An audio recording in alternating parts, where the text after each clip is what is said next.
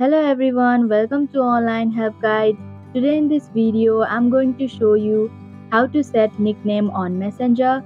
So without any further ado, let's get started. First, open Messenger. Now tap on the chat of the person you want to set the nickname. Tap on the icon just beside video icon on the top right corner. Then tap on nicknames here you can change your as well as other person's nickname. Now tap on set nickname. Remove the official name and type in the nickname of your liking. And if you're done, tap on set button. And that is how you can set nickname on Messenger. Thank you for watching online help guide. Hope this video was helpful. If it was, then hit the like button and comment down if you have any questions or feedback.